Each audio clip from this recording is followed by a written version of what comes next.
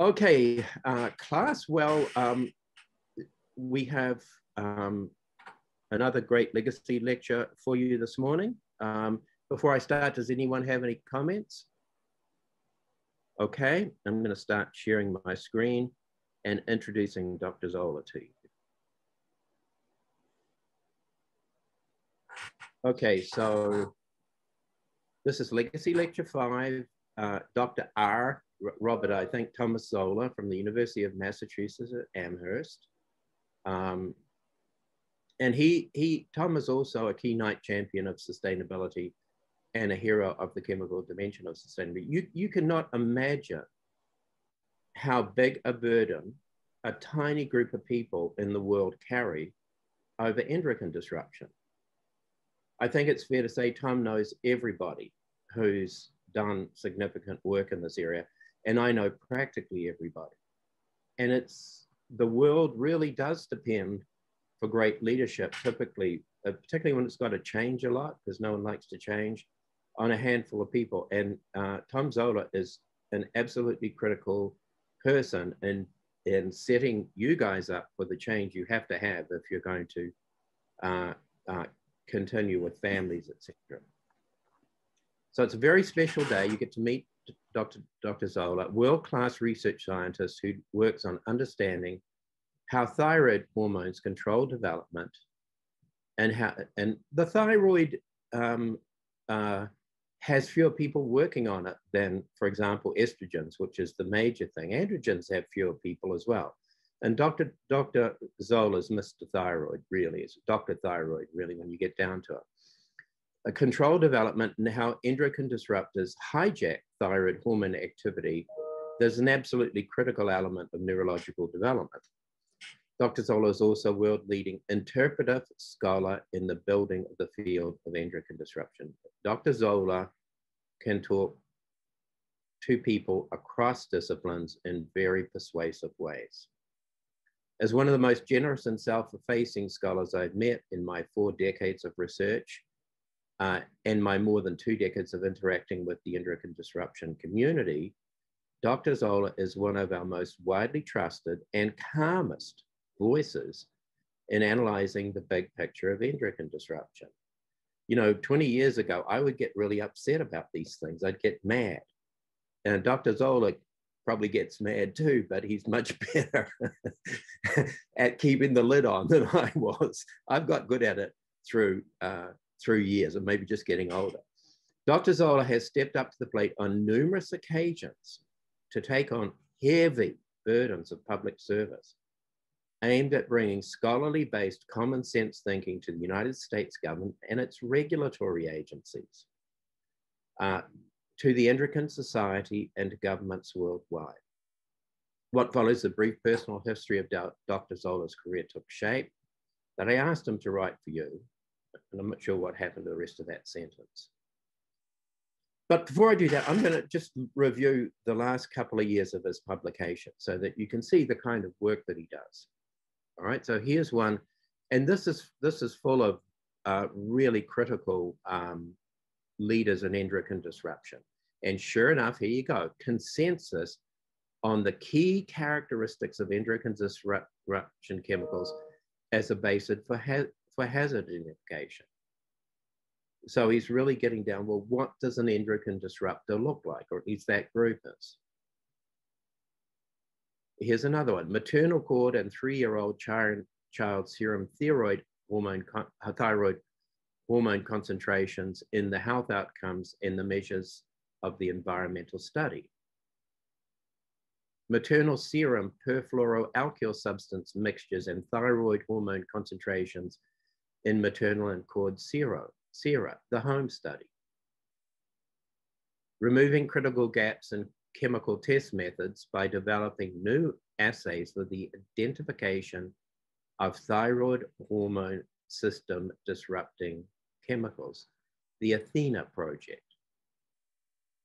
The use and misuse of historical controls in regulatory toxicology, lessons from the Clarity BPA study. That is a story. It's a disgrace to see the FDA's behavior towards uh, information uh, obviously, uh, uh, it, it's just it's just really sad to watch. The FDA is um, kindly put incompetent towards endocrine disruptors. Thresholds and endocrine disruptors, an endocrine society policy perspective. Clarity BPA, bisphenol A or propylthiouracil on thyroid function and effects in the developing male and female rat brain. The Clarity study was a $30 million study involved, meant to bring government agencies and the researchers together. And it should have, it's just the government agencies um, uh, behaved appallingly. Comparative analyses of the 12 most abundant PCB congeners detected in human maternal serum. You've seen what PCBs can do for activity in the thyroid hormone receptor and ryanodine receptor. So you read about this and these impacts on um, behavior and IQ and things like that in our stolen future. And what you're seeing here is more advanced science analyzing that. Dibutyl phthalate exposure from mesalamine medications and serum thyroid hormones in men predictors of urinary phthalate, uh, and this is just 19, 2020 and 2019 that I'm going through here. Predictors of urinary phthalate biomarker concentrations in post-menopausal women. And this one uh, should be thyroid hormones and neurobiological functions among adolescents chronically exposed to groundwater with geogenic arsenic in Bangladesh.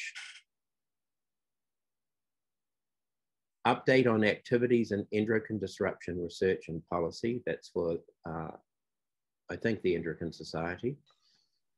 Uh, urinary concentrations of phthalate biomarkers and weight change among postmenopausal women, a prospective cohort study. Urinary phthalate biomarker concentrations and menopausal breast cancer risk. Well, that's the last couple of years of Dr. Zoeller's publication. So I asked Dr. Zoeller how you view yourself as a sustainability leader for the chemical enterprise. And this is how he responded. The key issues that I trained as a basic experimental biologist, uh, a neuroendocrinologist. I was an undergrad from 74 to 77 at Indiana University in a program that was geared to experimentalists. The course in endocrinology I took convinced me that this is what I wanted to do.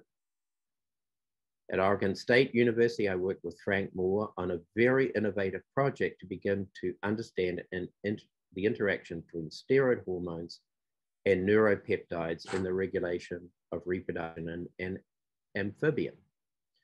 I was then an NRC fellow at the National Institute of Mental Health in Bethesda from 83 to 88, and the lab that was led by Julie Axelrod, helping to develop the technique of in situ hybridization to measure target mRNAs in single cells. This technique allowed me to, uh, you'll see techniques coming up, transformational techniques at the, in the early stages of the careers of many of the people that we, if not all, most anyway, of the legacy lectures that we've seen. Techniques are really important. The technique allowed me to answer questions about how the nervous system controls hormones in relation to reproduction and development. During my first academic position at the University of Missouri School of Medicine, I began to evaluate the role of thyroid hormone in the control of cerebral cortex development. I took this project and interest with me to the University of Massachusetts in 1994. And in 1996, I was invited to participate in EPA's Endocrine Disruptor Screening and Testing Advisory Committee, EDSTAC. Um, and so this was the government realizing it had to get serious about endocrine disruptors. And it, despite the best of intentions, it's fair to say that it's never really succeeded. This committee met in Washington about every six weeks over an 18 month period and was my introduction to ECDs, EDC, and to, reg to the regulatory domain. This experience led to an inflection point in my research and my efforts. And so now we're going to show you some of the things, these efforts, these critical efforts, um, where somebody takes on a very large burden to try to help the country, the regulatory agencies, the people understand uh, uh, matters of great urgency and importance in science. So from 94 to 96, Dr. Zoeller was helping to develop methods to identify EDCs and in the EATS domain, that's uh, um, uh, andro estrogen, androgen, thyroid, and steroidogenic uh, modalities, as they say. In 1999 to 2002, um, EPA's research uh, perchlorate, uh, uh, where Dr. Uh, Zoeller reviewed EP's work to identify the public risks of sodium perchlorate. Believe it or not, perchlorate is a, is a thyroid EDC. It's astonishing. That you would never expect this, but apparently it is. And um, it, that's just an amazing fact that a tetrahedral chlorine compound with four oxygens uh, would be impacting the thyroid system. 2004 to 2007, EPA's Chartered Science Advisory Board, so where, where uh, Dr. Zoeller for, a, for those years provided science advice. You can pretty, you, you can map this onto the presidents that were uh, present at the time. These are, these are Democratic, uh, well, not actually, I guess that's, we, we've got both uh, parties uh, in power chair of EPA's Environmental uh, Health and Something Committee, uh, where he reviewed ToxCast, which is the way the EPA was building up data to try to uh, analyze things. 2010 to 12, uh, uh, United Nations Environmental uh, Program and the World Health Organization wrote, wrote this very critical report, State of the Science of Endocrine Disrupting Chemicals. And then in 2010, Dr. Zoeller led the writing of the first endocrine disruption chemical statement for the Endocrine Society. I'm very proud of the fact, by the way, that the ACS, American Chemical Society, had the first such statement. Um, I was uh, on the committee, I, I, actually, actually wrote it, um, and then it was tweaked a bit. Uh, but I'm pretty sure they've gotten rid of it now, uh, based on the, the way the ACS has changed over the years. In 2010 to the present, Endocrine Society task forces and committees on endocrine disrupting chemicals. And then in 2013 to 15, United Na Nations Environmental uh, Program, SAICM, Strategic Approach for International Chemicals Management. So an attempt internationally to begin to manage chemicals much better than we do. So Dr. Zoeller holds major awards from the wider world in his own institution, the Endocrine Society Laureate Award for Outstanding Public Service. Because the time, I won't read that, but that's a really, really important award. The UMass Distinguished Community Engagement in Research Award, the UMass Chancellor's Medal uh, for Research, uh, the Samuel Conti Faculty Research Fellowship at the University of Massachusetts. And the Scientist of the Year by the Learning Disabilities Association. And that's uh, an award that has a long history and it has some names that you might recognize. For example, Herb Needleman uh, and Bernie Weiss, who um, has passed away, I believe. It was a phenomenal uh, endocrine disruption researcher and engaged in all sorts of things with deep, deep understanding of dioxin at the University of Rochester. Well, at this point, I'm going to stop screen sharing and ask Dr. Zoeller to take over and talk to, talk to you guys about um, the big picture.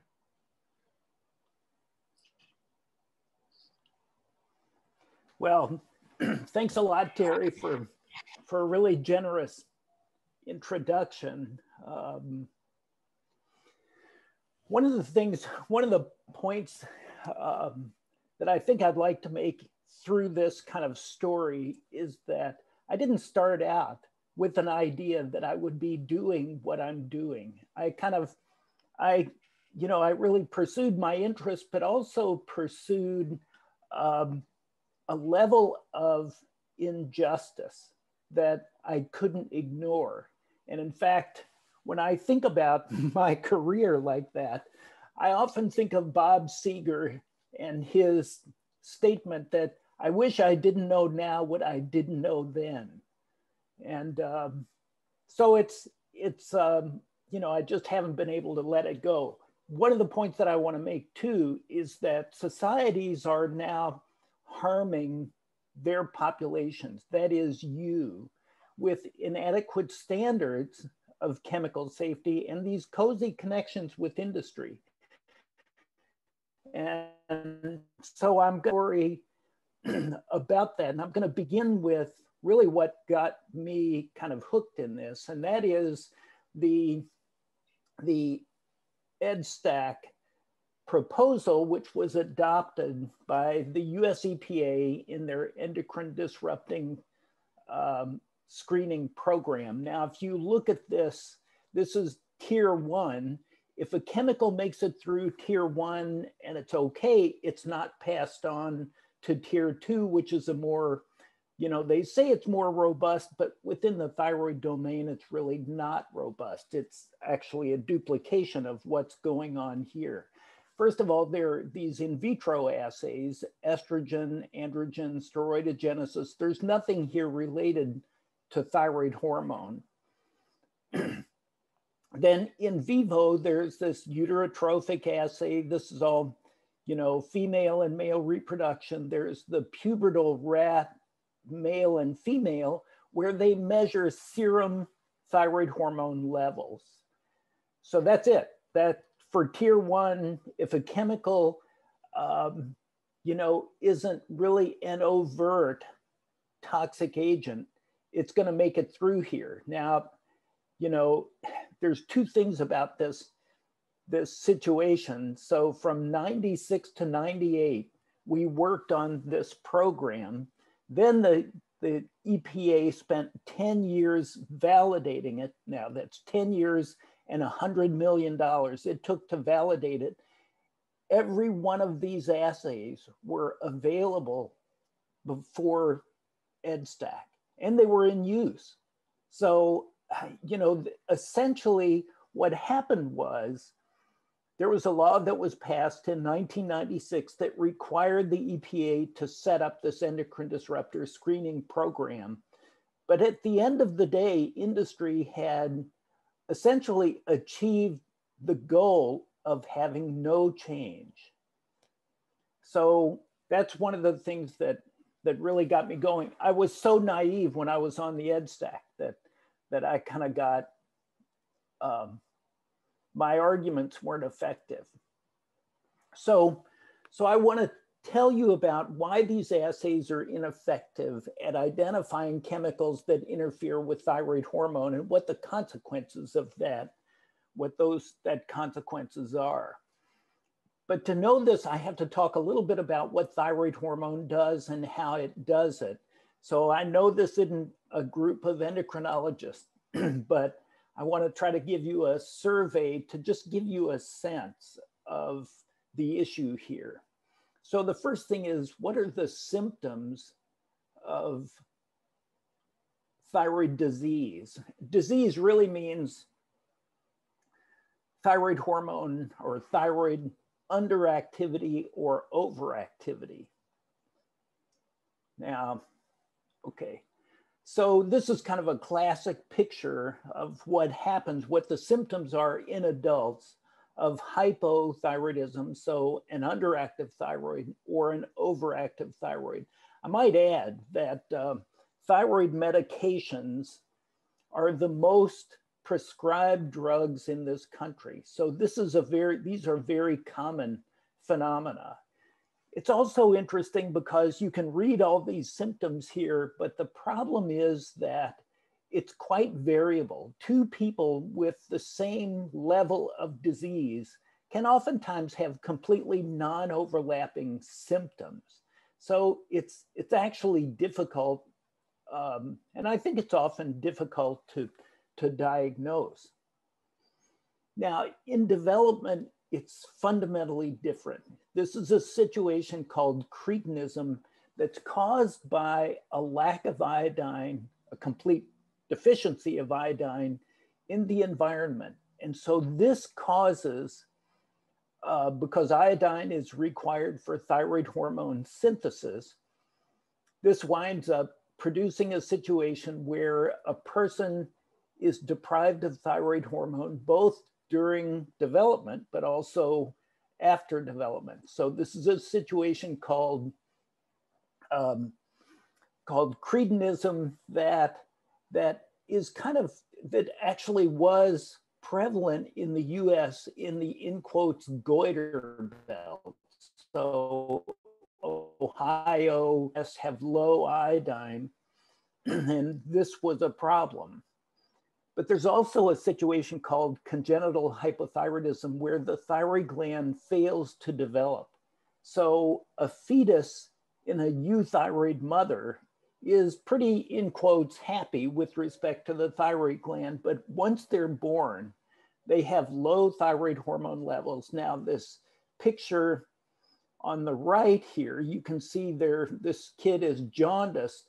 Also, you can see this kind of tongue pro um, you know, sticking out here. And that's actually because the thyroid gland is attached to the back of the thumb or the, the tongue.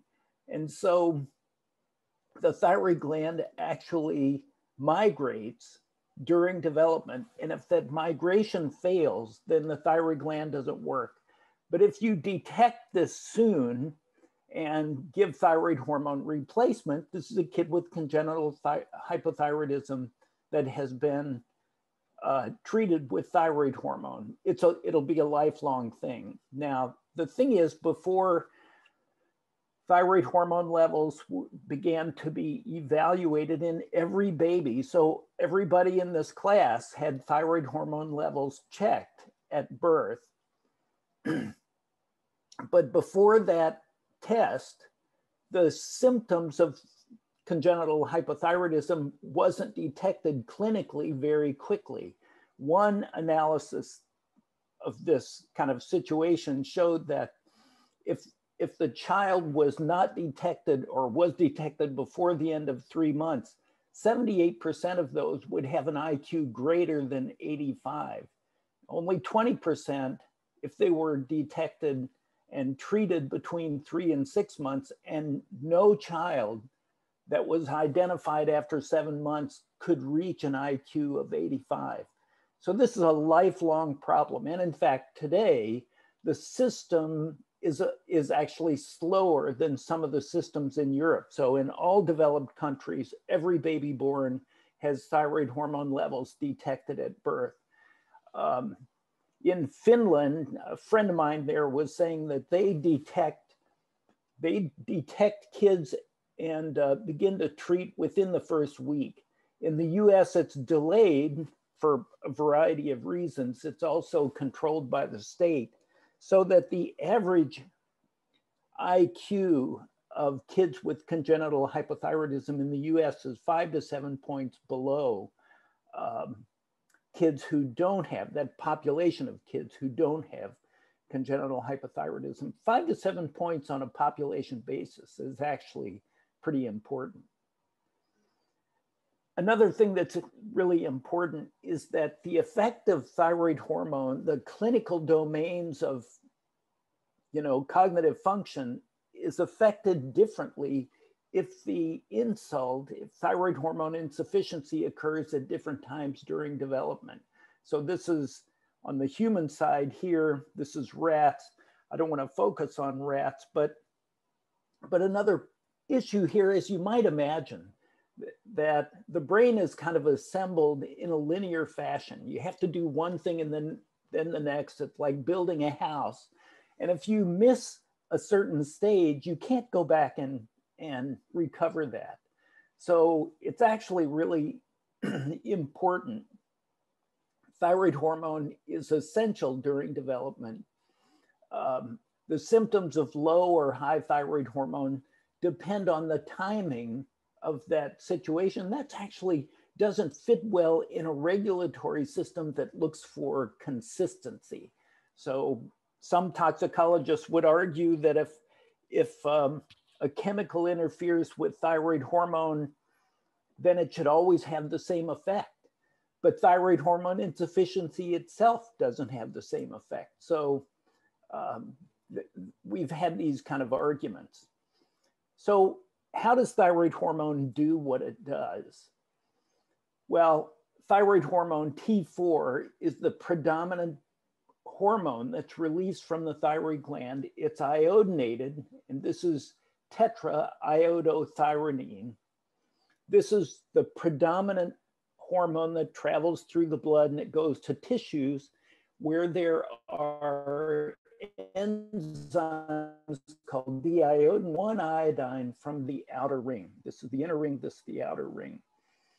Then this, this hormone is the biologically active hormone. T3 is what does the business of thyroid hormone, but T4 is what circulates, if that makes sense. So a lot of people consider this a pro hormone, not the hormone itself.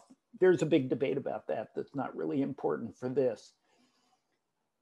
Other enzymes can are inner ring deiodinases that convert T4 to reverse T3, which is not biologically active. That's again a matter of debate, but it's a little bit wonky.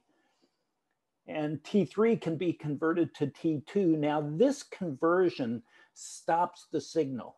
When T4 gets into a cell, it's converted to T3. And if that T3 stays forever, it creates a big problem for that cell.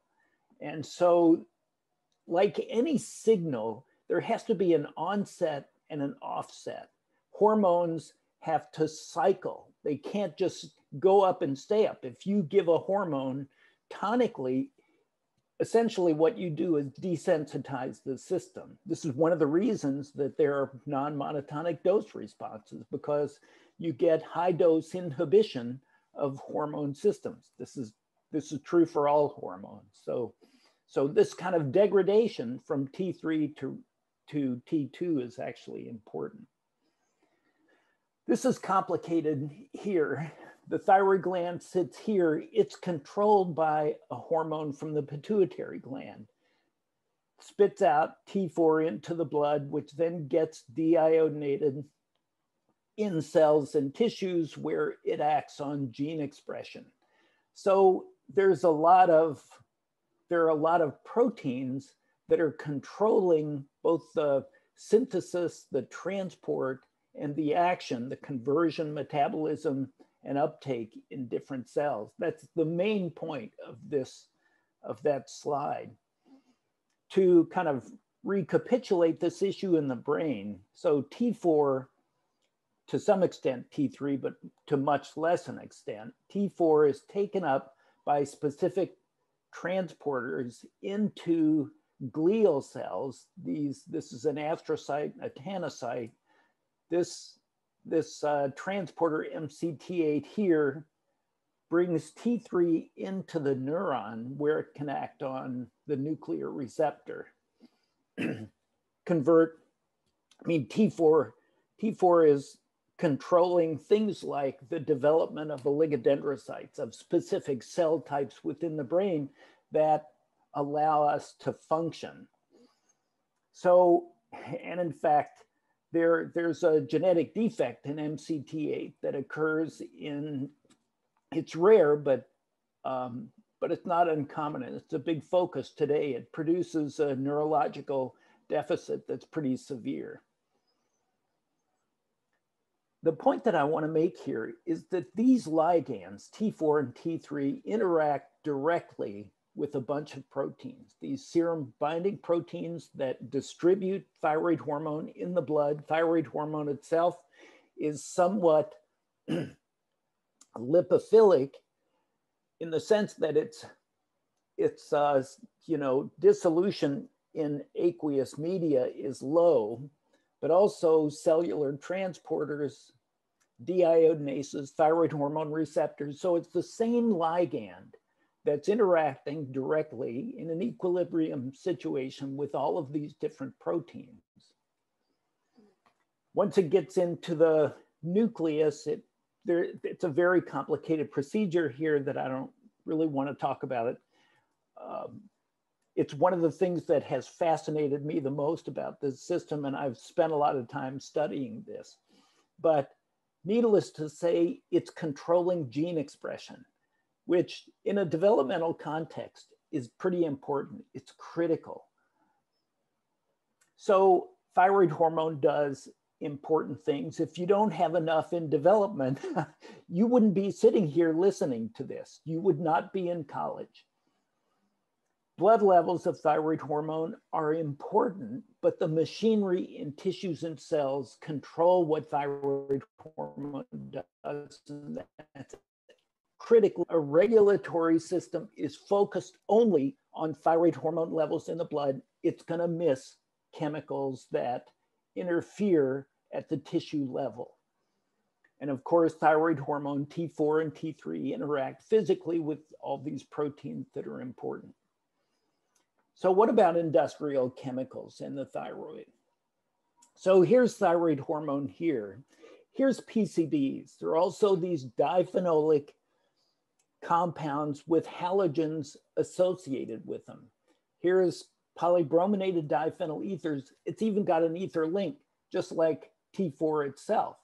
There's, you know, for example, tetrabromo di, uh, diphenyl ether that looks a lot more like thyroid hormone than PCBs do. Um, here's triclosan, which is in, you know, toothpaste, for example. Um, that's even hydroxylated. Again, you've got these diphenolic rings with an ether link and it's halogenated. And then bisphenol A, which is kind of an interesting molecule. I didn't think uh, you know, I think of bisphenol A as an estrogen, not a thyroid hormone analog. But here, a friend of mine uh, who was just using, you know, computer simulations to dock molecules in the thyroid um, thyroid receptor ligand binding domain showed this issue here. Also, one of the most prevalent flame retardants, especially in electronic devices, is, um, is tetrabromo bisphenol A. Uh, we're all contaminated with all of these chemicals. So I'm not showing you a lot of them, but I can guarantee that if you were to measure these chemicals in your blood, you would have them. If, you know, when women become pregnant, those fetuses are contaminated with these chemicals. These are all lipophilic enough so that one of the ways women get rid of these chemicals is by breastfeeding. So I gave that story once to a, to a Senate briefing, and one of the people, one of the you know Senate staff staffers, really took me to task because I made this point that that lactation is a delivery mechanism for these kind of hydrophobic chemicals. And she said, I'm giving a mixed message because we all know that breastfeeding is good. And my response was, I'm not talking to breastfeeding women. I'm talking to people who could make a difference.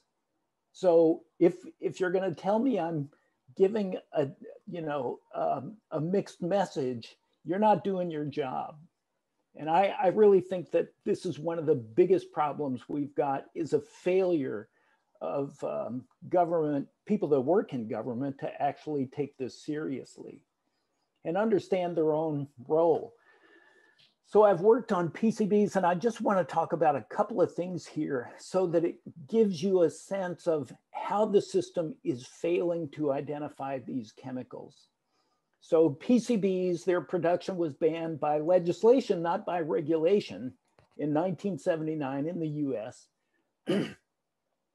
but we're all still contaminated with PCBs because when the production was banned, their use was not banned.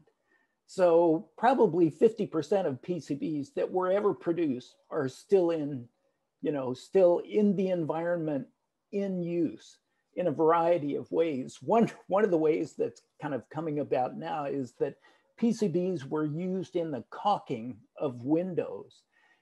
It, makes, especially in cold environments like Pittsburgh, um, you have caulking that was, that was made more malleable and less, less you know, sensitive to temperature changes by putting PCBs in there. They're still off gassing and old buildings with that were built in the 50s and 60s and haven't had their windows and caulking replaced still has a lot of PCBs in the atmosphere. This is um, kind of an old review of PCBs in mother's milk. And you can see these, le these levels here are parts per million. Uh, these are different cohorts. So these are studies of PCBs in populations, a variety of populations. In fact, the level of PCBs here are higher than the levels of PCBs I've used in, in uh, our rat work. Also, PCBs have been linked to changes in behavior uh, in children and also the size of the corpus callosum. There's, um, this is a white matter bridge between the two hemispheres. And this is a thyroid dependent organ. So it's certainly, it's certainly consistent with the idea that PCBs can interfere with thyroid hormone action in the brain during development. Here's a, also a review that just, you know, he, these are all different cohorts from all over the world looking at the relationship between PCB exposure and cognitive function. You can see all these down arrows. It just simply means, except for auditory threshold. So thyroid hormone is actually important for development of the inner ears as well as the retina. So, so it's showing that PCB exposure during development is consistently linked to reduced cognitive function. Now, is that related to thyroid hormone and thyroid hormone levels? Here's a review of a number of epidemiological studies trying to find the link between PCB exposure and thyroid hormone levels. And there's nothing really obvious here. Some do, some don't. It's kind of a mixed bag. There's a lot of reasons for that. Um, but I think one of them is that that chemicals that that affect brain development don't always have an effect on thyroid hormone levels in blood, but that doesn't mean it doesn't affect thyroid hormone action in tissues. Our first experiment in this is kind of shown here. So as PCB concentration went up thyroid hormone levels went down in rat pups during development. You would expect to see canonical changes in the brain that are consistent with low thyroid hormone. We've looked at a lot of these, but one that I'll show you is just a gene that we know is regulated by thyroid hormone in specific brain regions, not in other brain regions, but just in specific places what we find is that PCB exposure increased the expression of this gene only in areas of the brain that we know are regulated by thyroid hormone. Now, over the years, that, that became kind of a fascination. Over the years, we showed that some PCBs, like this coplanar PCB, can interact with receptors in the nucleus that control the expression of an enzyme, CYP1A1, that can hydroxylate specific non-coplanar PCBs. Those in turn can bind to and activate the thyroid hormone receptor and regulate target genes. Now, there's, there's, there's a whole lot we could talk about, but what this really means is that these PCBs are interfering with the coordinated um, regulation of gene expression during development. If you turn on a gene before its time, that's just as bad as inhibiting the expression of that gene when it's, when it's time. So the conclusions here is that we propose this two-step mechanism. We've got absolute proof in cell culture. We've got strong evidence in animals because as soon as you put PCBs in an animal, you don't really know what it's doing. You can, you can look at measures that are consistent with your hypothesis, but we've also got evidence in humans in term placenta that are all fully consistent with this two-step mechanism. So chemical effects on the blood test of thyroid hormone don't predict what's happening in the body, or I'll say don't always predict. If we didn't already know that PCBs are neurotoxic and that they interfere with thyroid hormone action, the endocrine disruptor screening probe would likely fail to identify these chemicals as EDCs or as neurotoxicants. So when you read about the EDSP on the EPA website, it makes it sound like it's a 21st century panacea that's going to protect you. And it's not. It's primitive, it's outdated, it's it simply wouldn't pick up chemicals that we know are harming us today. So that comes to the Athena program. So in Europe, they're actually beginning to take this seriously. They've there's this is a large funding program called Horizon 2020. There are a number of projects. The one that I'm involved with is called Athena. I forget what the acronym stands for, but it's it's got 12 different laboratories in seven different countries. I'm associated with uh, with the group in Sweden to come up with better endpoints to complement uh, current assays that look at thyroid hormone levels in the blood. So, so one of the things that regulators in Europe are struggling with is what does it mean if thyroid hormone levels are changed, but we don't have any measure of thyroid hormone action in tissue. So, so that's been actually an important kind of project, but it also, it's a segue to tell you that in Europe, there's a lot more going on than in the US. The US, not just during the Trump administration, um, I was, I was um, working on UN committees during the Obama administration and the US State Department was just as industry friendly and science aversive as um, I, am not going to say as the Trump administration because I don't really know, but um, but we've we've got a lot of work to do in this country. So so I want to switch now to talk about the debates over these regulations. I've got a quote here from Arlene Bloom. I'm, I don't know if you've talked about about her in the class, but Arlene is a is a fascinating person who has done incredible work, including leading the first all-female ascent of K2. She was she spent much of her life as a as a kind of mountain mountain climber. So her point was to me in a conversation I had with her was that if there's some proposal to change the rules that affect the way chemicals are regulated broadly, the whole industry is going to come out to stop it. And so oftentimes uh, NGOs will focus more narrowly. It's much more difficult to change the rules. And so if they want to be effective, they essentially will have a much more narrow focus so that the whole industry doesn't come out. The European Commission has been charged because of two laws that were that were signed into action several years ago um, to focus on endocrine disruptors. Um, the people in Europe are much more, I think, knowledgeable and concerned about what these effects are. They, the, the European Commission has this, has this definition of endocrine disruptors that's actually very interesting. It says that they're chemicals that may interfere with the hormone system.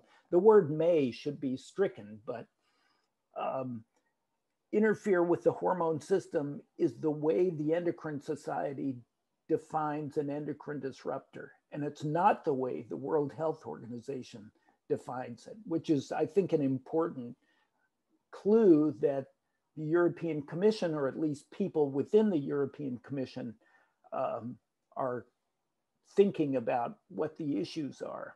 Now, in 2012, I was part of a group that published this document that was that was really funded by the UN Environment Program and the World Health Organization. And the goal of this was to provide an update because the first document like this, the State of the Science of Endocrine Disrupting Chemicals, was published in 2002. So, so our goal was to just review the literature of the past 10 years at that time. One of the things that's really important here in this document is that in 2002, the description of the endocrine system is what the industry thinks about hormones. Here you've got this kind of seesaw. If A goes down, B comes up, and that returns it to some kind of homeostasis. If B goes down, A goes up, and it'll return it to homeostasis. So they explicitly made the point that the endocrine system is designed by evolution to allow us to adapt to the environment, which also means chemicals that are completely unnatural. That's their implication. In contrast, in 2012, Jerry Heindel and I wrote the first chapter, and we focused on how hormones act on receptors and how that action follows certain rules. And these are rules that everybody understands. So as a result, we came up with very different kind of conclusions. Well, a group that was funded by a variety of industries, not just a single industry, but you know, the pesticides, the plastic industry, et cetera, et cetera, came up with this, you know, very critical comments on the work that we had done. In, in response to this, we responded by saying that, and it, this paper is actually, it's, it's difficult to read because it's a very scholarly approach to how you know the science can be um, kind of kind of you know the way that the way the chemical industry analyzed the science is fallacious but it's very cleverly fallacious andreas kortenkamp was one of the one of the really prime intellectuals in that response but all of the people um, in fact, Bruce Blumberg, you've heard some of these people, Bruce and Laura Vandenberg, who will come next. So this, you know, two kind of high level groups are battling in the literature over what's real and what's not real.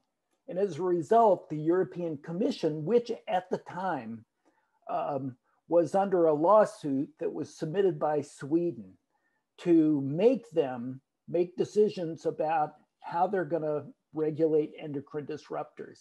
They organized this conference on June 1st, 2015, to essentially, in principle, to um, you know, get a sense of what's real and what's not real. You can actually go to this site to see that that uh, conference. Now, I was representing the Endocrine Society. I was the first speaker that morning. And this was organized by this guy, Ladislav Miko, that I had met with a couple times before. And I, I mean, he, he, um, he was definitely an industry person. So, so I presented, I think they were 10 minute talks, first, representing the Endocrine Society, Daniel Dietrich, really presented the industry side of this. Now, in my presentation, I focused on hormone action. I was talking about how receptors work. I showed this graph relating ligand concentration with, um, I'll talk about this in a minute later because it has tremendous implications, and talking about how the cr critical features of hormone action, they have to be considered by regulators. In the, the point that I wanted to make here and that I made in that, that presentation is that this graph is showing the relationship between hormone concentration and receptor number. So this was an experiment where receptor number was artificially controlled experimentally in a cell line, and then they were exposed to different concentrations of the ligand. So if you just take one concentration of ligand and go up, you can see that the, the effect, the response of the cell is dependent upon receptor number. You can also go this way where you pick a response and as you go across here, it requires less and less lower and lower concentration of hormone to produce the same effect as hormone concentration, as receptor concentration increases. This is incredibly important because it explains why the same ligand can have different effects in different tissues. One tissue is going to be relatively insensitive, one tissue can be exquisitely sensitive because of differences in receptor number. This is well known, this is not even new.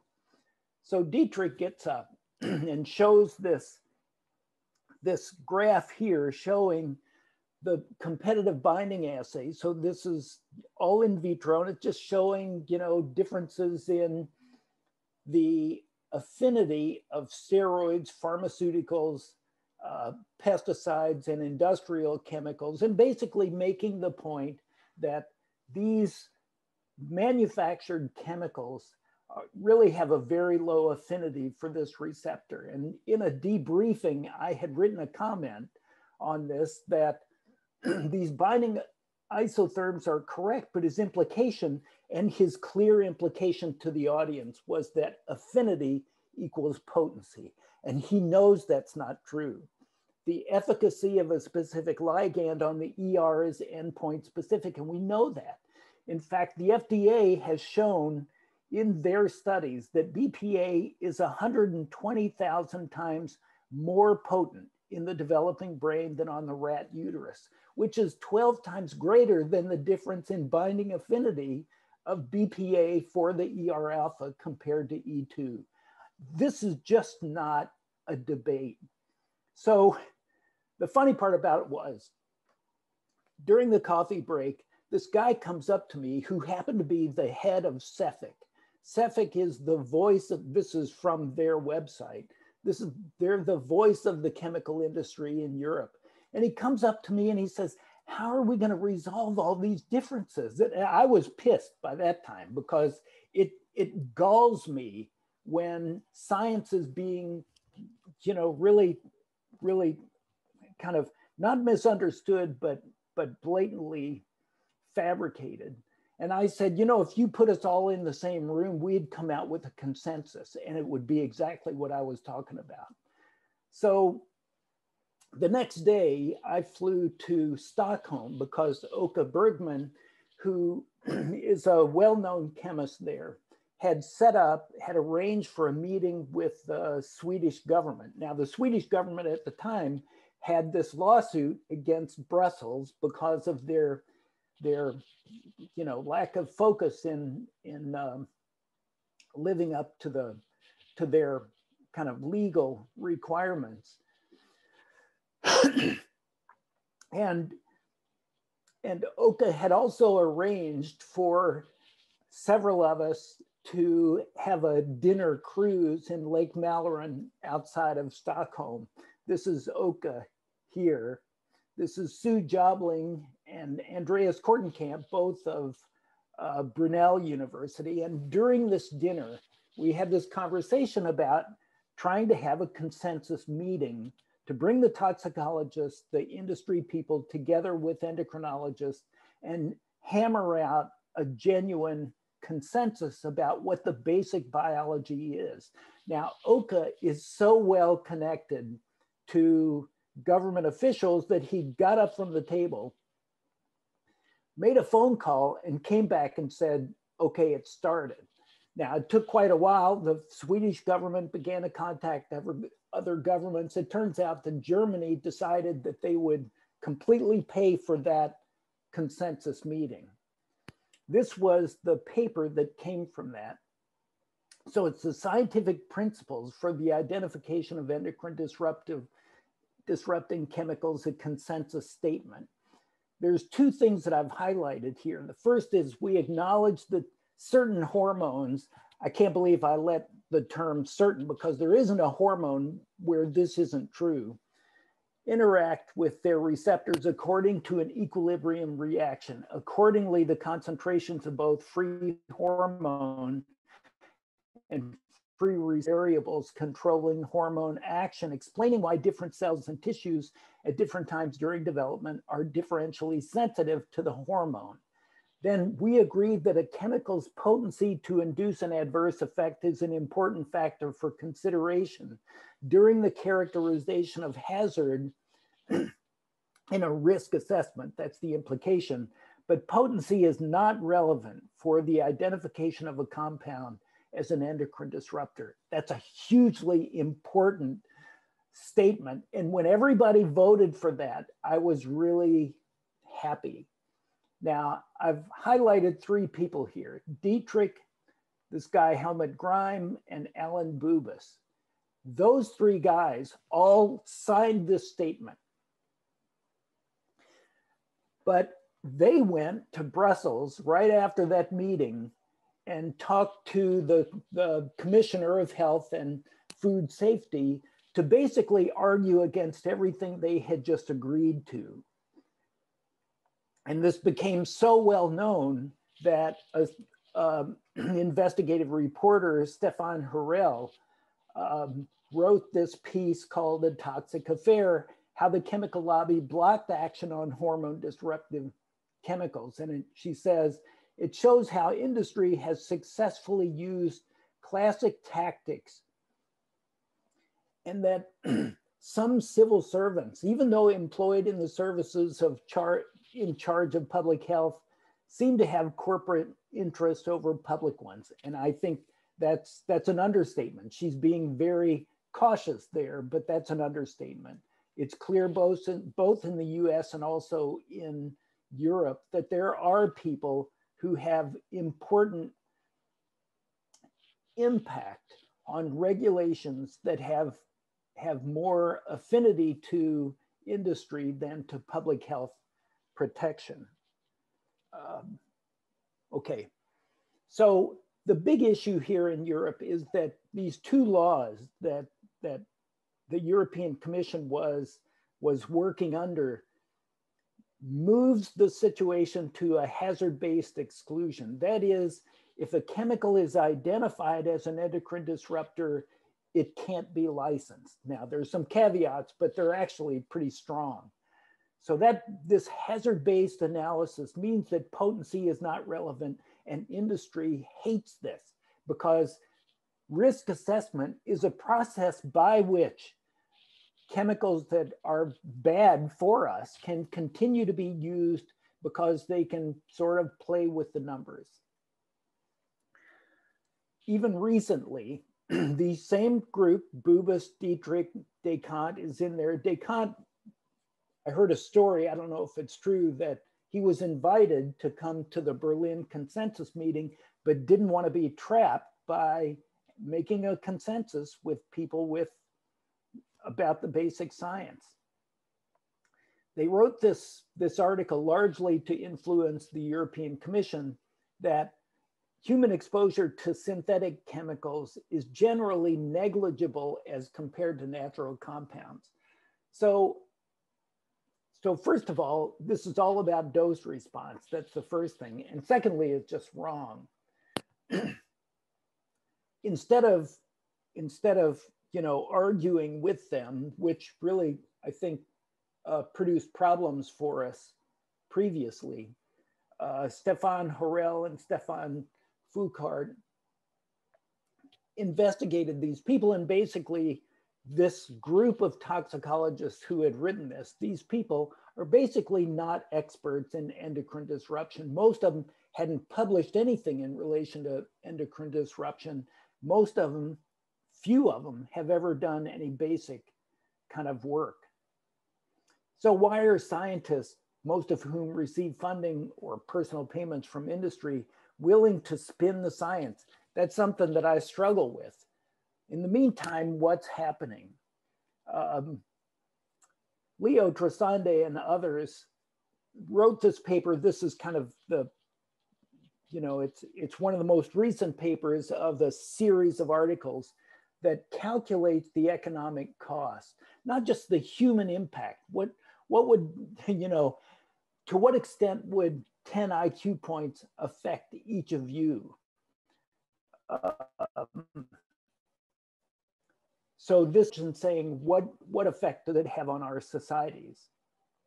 Yesterday in EHN, this, this uh, article was published, Food Dyes Linked to Attention and Activity Problems.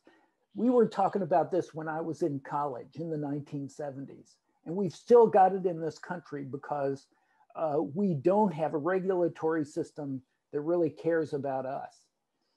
So so to kind of sum up here, I think one of the things we have to do is change the narrative about regulations. Regulations aren't bad. Who would want to watch a football game if you didn't have referees? It's the same thing here. We have to have rules. We have to play by those rules, and those rules need to be protecting the players, i.e., us. Government regulators are now captured by the regulated community, and not, no, I don't think there's any better place to see that than FDA food safety. Individuals in industry and government have to be held to account for the human suffering that they inflict. we sue companies, the government sues companies. My brother is an attorney for the Justice Department in the Environmental Enforcement Division. He's got a big case in Chicago now. There's nobody who's going to pay the price. The industry might. There's going to be some, you know, money that has to change hands, but it's industry money. It's not individuals going to jail because they knowingly hurt people. We also need to reduce exposures really in two ways. We need to limit exposure at the beginning, but we also have to try to get rid of the chemicals that are currently here because they're not going to go away quickly. Um, and this is something that Terry, I know, has been intimately involved in, and it's a it's a hugely important thing. So I'll go ahead and stop there, um, and hope that this can stimulate some conversation. Well, uh, Tom, um, first of all, thank you. I, I mean, this, this, guys, was this was an extraordinary lecture. I mean, all of the themes that you've seen in the class came together here, uh, but in, with a really beautiful aspect that it was wrapped around, actually the deep science was well explained um, of the thyroid system. And you got to see somebody who really understands as well as anyone does on earth how the, how the thyroid system works and how the chemical enterprise and governments uh, interact with that understanding and unfortunately pervert it uh, to protect the money. So I also I, have to say that that I work on thyroid hormone because I was raised Catholic, so I can't work on sex.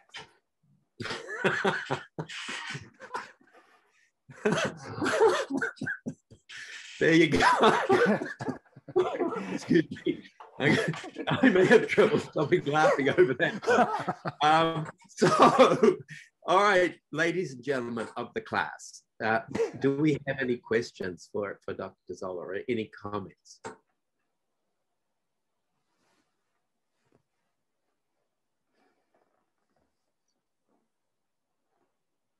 Well, I know these things take a long time to digest.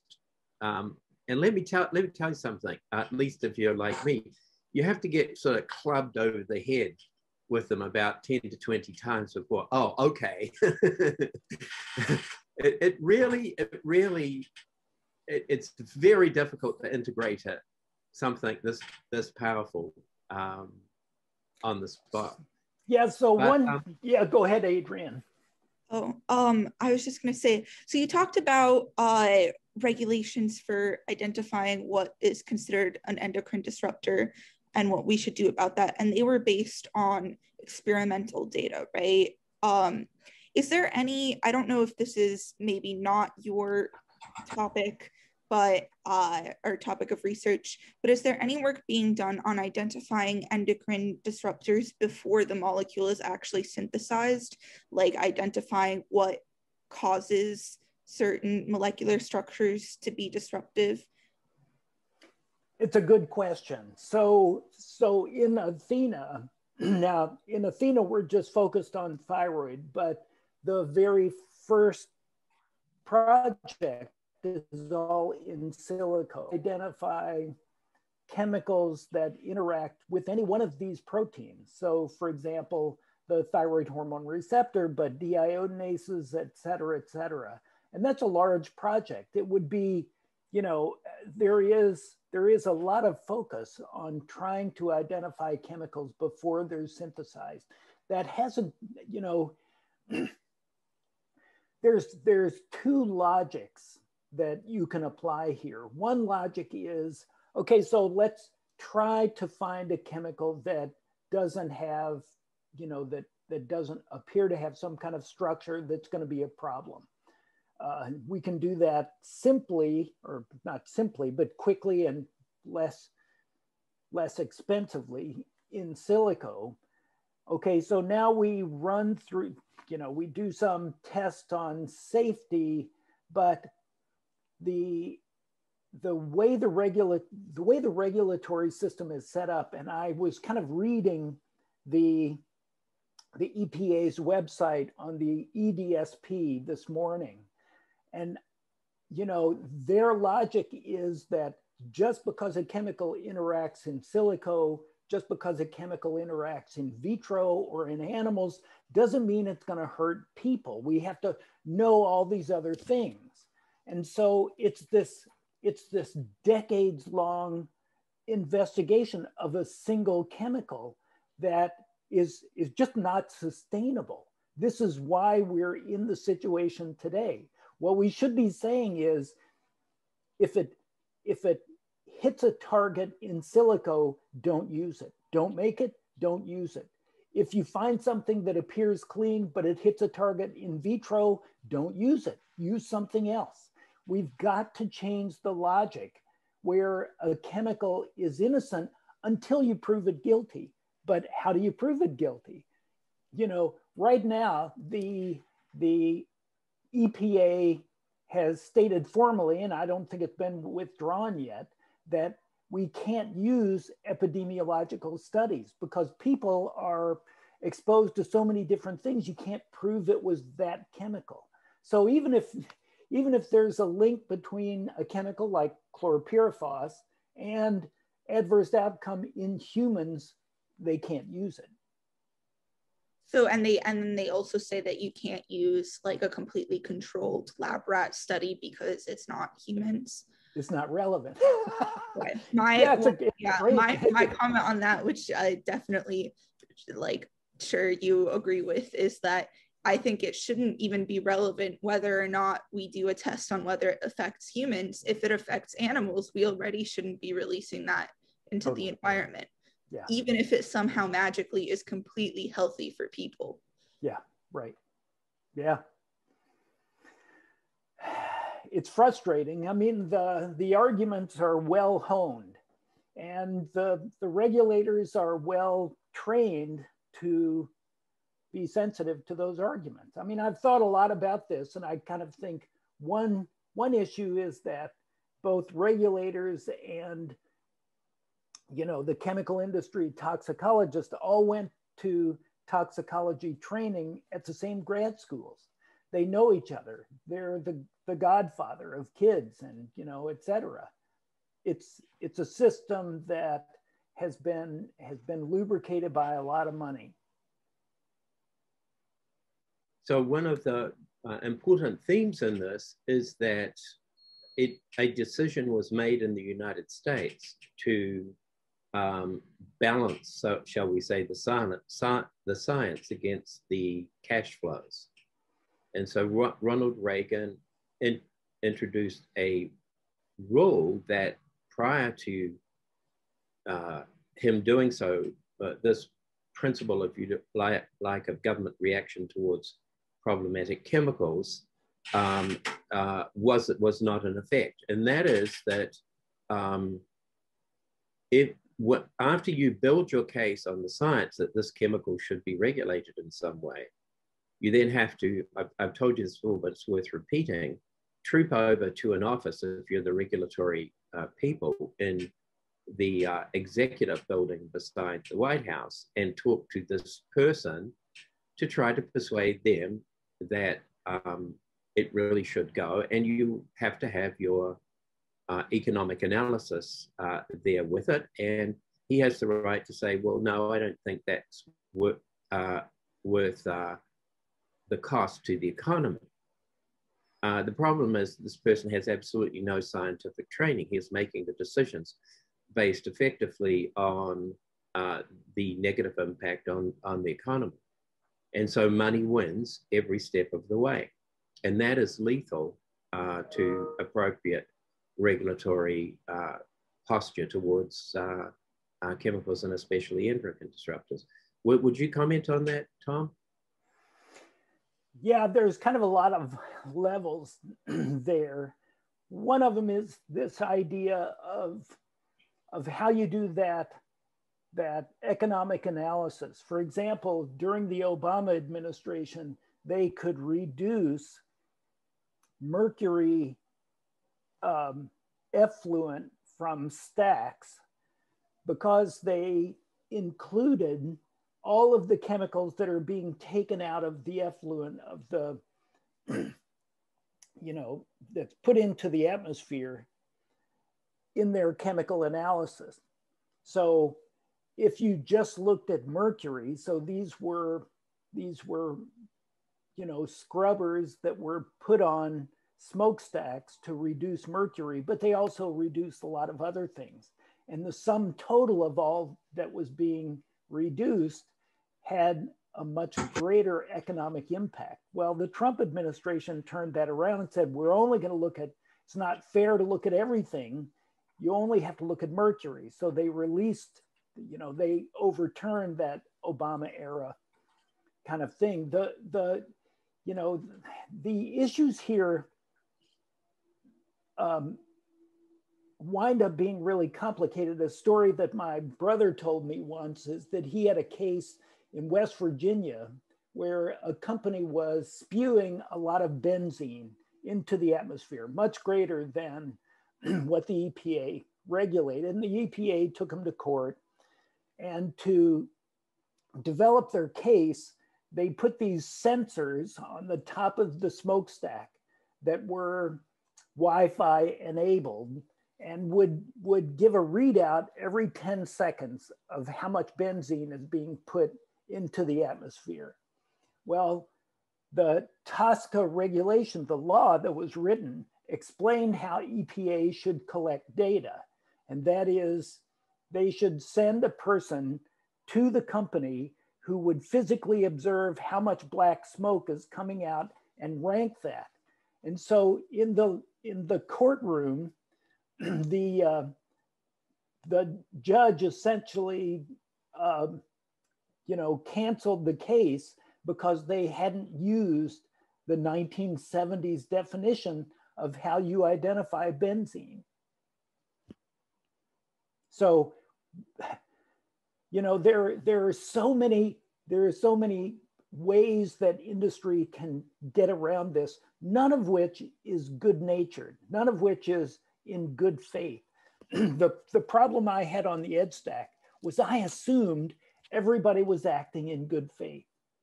You know, the EPA likes to have uh, what they call kind of a balance. We need to have all these different stakeholders. But when half the room comes from different industries, they're all in it together.